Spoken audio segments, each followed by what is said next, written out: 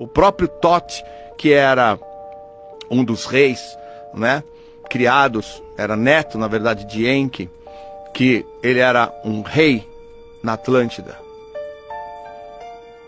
Ele criou, ele saiu da Atlântida e criou a civilização egípcia. No Egito ele foi chamado de Tote. Ele criou a civilização na Grécia. Na Grécia ele já era chamado de Hermes. O nome Hermes Trimegistus, que significa Hermes três vezes grande, é porque ele foi três vezes grande. Ele foi rei na Atlântida, fundador do Egito e na Grécia.